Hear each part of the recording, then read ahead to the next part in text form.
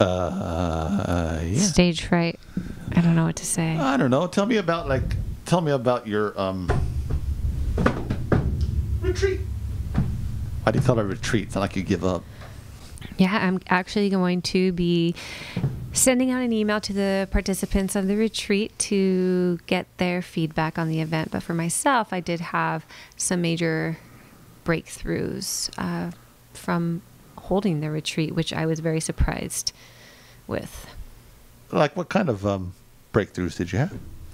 Um, the major breakthrough that I had was that by conducting this retreat, I was able to break some of the lineage karma from the past, from the ancestors, and heal that for my daughter and those who are to come before us, or no, after us.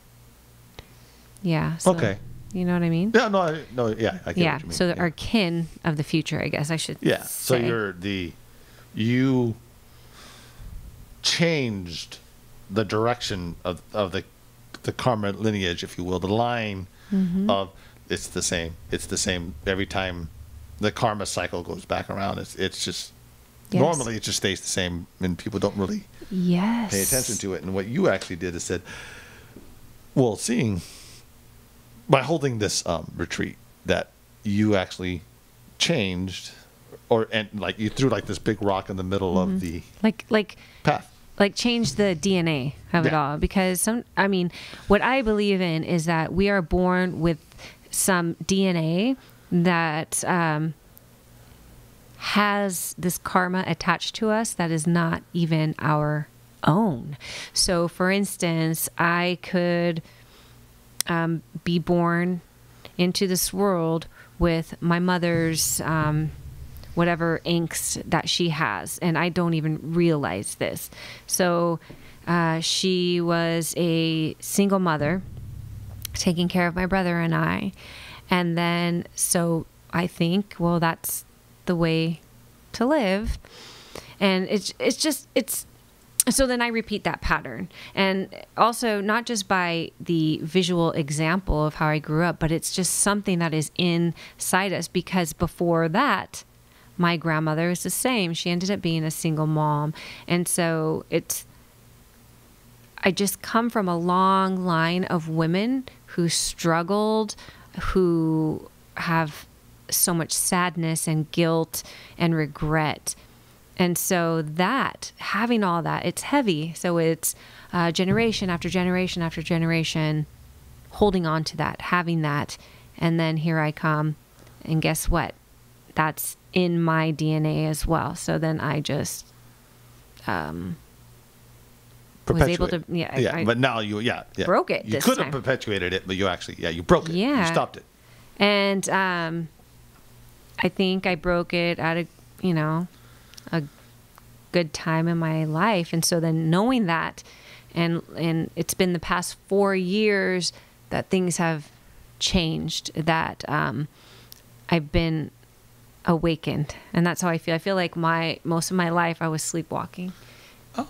So then four years ago, I woke up and I'm like, oh my God, how did I get here? What am I doing? And now I'm able to move forward with more ease and um, success. And there you go. That's what. That's a good um, definition of success.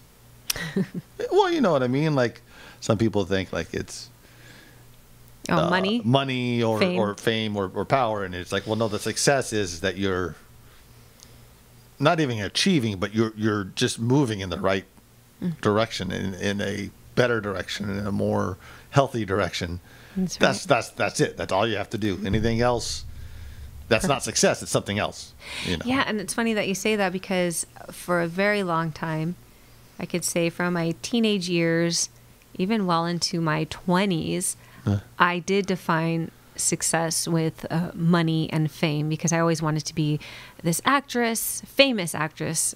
You know, I am an actress, which I am now okay with. I used to think to be successful, I had to be famous at it. Mm. And so now I, I recently actually was able to detach from that part of my identity that I created. I really it it almost was painful like letting go of a piece of myself because a piece of myself was I'm going to be a famous actress. I need to be a famous actress. Everybody knew me as woo, yeah, the actor. Oh, yeah, superstar, superstar, you know, and so I thought that I to validate myself, I had to be that.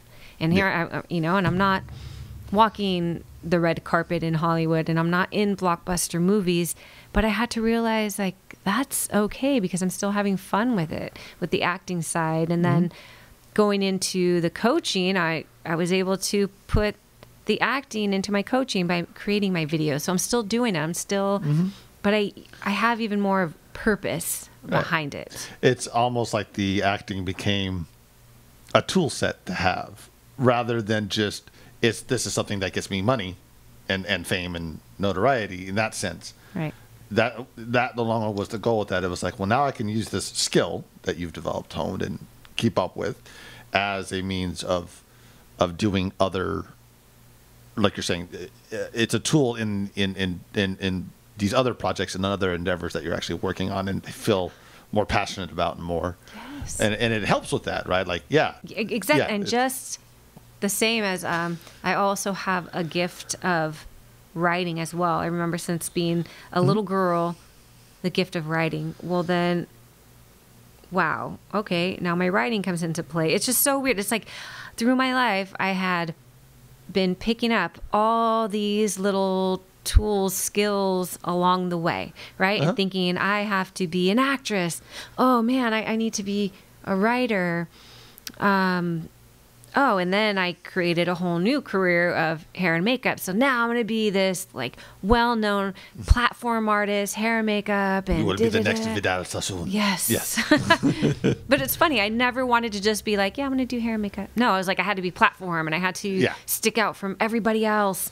And um, I think that's just part of my spirit. Yeah. But I did, I, I, I mean, to be able to put all of those things together and now be in my next endeavor of this lifestyle empowerment coaching mm-hmm. wow, like putting it all together. Like I didn't have to be one or the other. And then mm-hmm. I've always had the passion of um, being there for women, being a, a guide, a support system, a mentor, a friend. I just love that sisterhood. And it's like, what the heck? All these years of thinking, like, eh, I'm not doing anything. I'm kind of failing at life. I suck.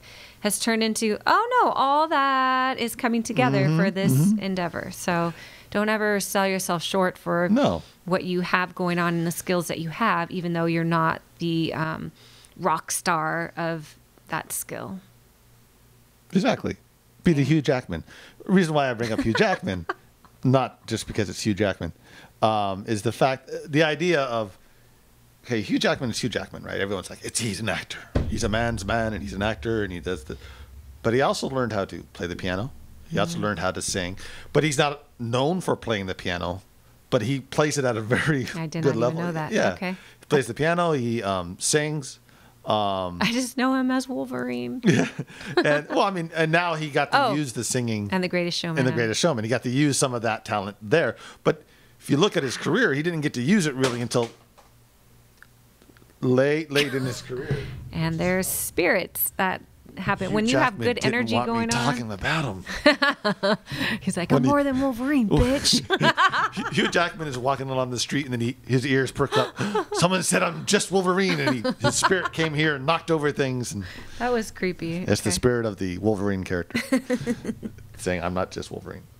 Um, but th- but that's what it is. Like, yeah, you have all these other and and there's other actors, right? Um, True. I forget the guy's name. He's on. Um, speaking of superhero characters, he's on the Avengers. He's the one that shoots the arrows. Um, yeah, I'm not a Marvel person. yeah, well, you are a marvelous person. but You're not a Marvel person. But that Touche, actor, touche. he's another one who does that. He plays the piano awesome. He plays the uh, he, he does tap dancing, and but they're like at, at, they do it at a very like competitive level, but they're not known for that. They're not stars in that world, right? It, it- and and you being able to be an actress, and and then also be able to do the hair and makeup and also be able to do the And edit. and edit now. You're Yeah, actually you're not just edit. You're editing shooting That's writing true. it. And you're compo- you know not just shooting it but you're composing the shots. You're composing the scene because as you've been progressing in your videos like I, like today when i saw it like your background Mm-hmm. Yeah. like it's very different now. Yes, like it's yes, actually yes. staged for the camera.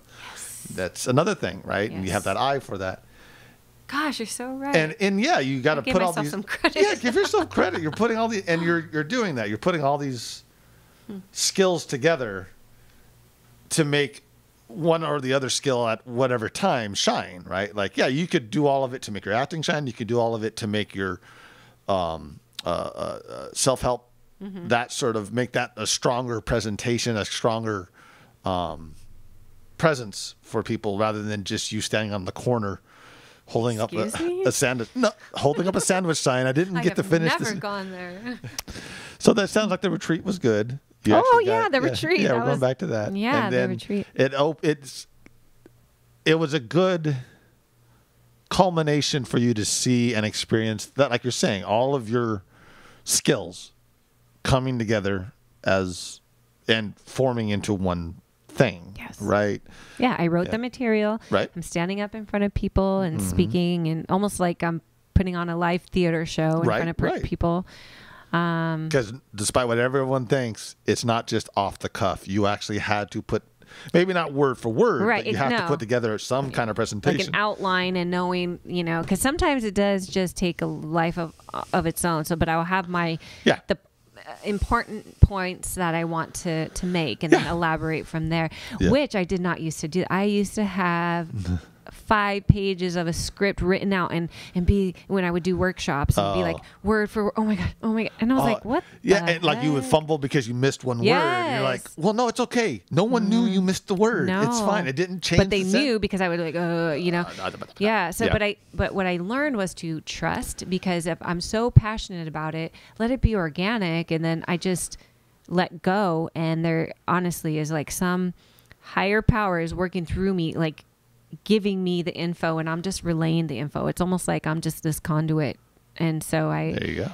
I, uh, gosh, once I, once I did that and I let go, whoa. And, and again, like I'm so passionate about something, I could just keep going on and on and on, which does, you know, it could be a problem sometimes. I have to be like, whoa, I talked a lot right now Yeah, because I want yeah. them to be so engaged. Right. And, one, and that that opens up to that of self editing, right? And and where that yeah. Yeah. It's good. You you have enough passion for it that you can talk about it forever. But then you're right. You begin to once you get to that point, you begin to then realize that's not the point to get to where I could just talk about this mm-hmm. off the cuff forever. It's like now I could talk about it and I know now how to to do it not just in a a lot of people think like a concise way means that you know you don't know a lot about it you're just trying to say it quick it's like no I'm actually trying to get it distilled down in, in the in a digestible way where you don't have to sit here for mm-hmm. an hour of me rambling when there's only like three minutes of actual content you might want to get out of that mm-hmm. you know Yeah, and you could also start to feel if you're aware, you'll feel the energy of them being like Yeah. moving on, like they'll start shifting, and you're like, oh crap, okay, reeling it back in. Exactly.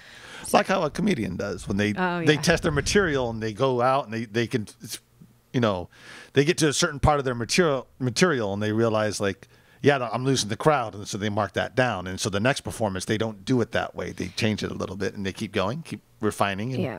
yeah I gotta say that that's ballsy though to go out on stage and try new material and with the risk of bombing uh-huh because it doesn't work. Oh, yeah. my god, I that is I no, I can't. I I am Yeah. too no, I'm not that brave. Like I need to know that this is what's they are here and they know what they're coming here for, Yeah. and I'm going to give that to them. But oh, Oh, hell Yeah. no! I oh shit! Oh, The refrigerator attacked me, or it was freaking Hugh Jackman it's Hugh. Jackman as Wolverine in the refrigerator doll. I'm just trying to get some water here. Hugh Jackman. Hugh Jackman.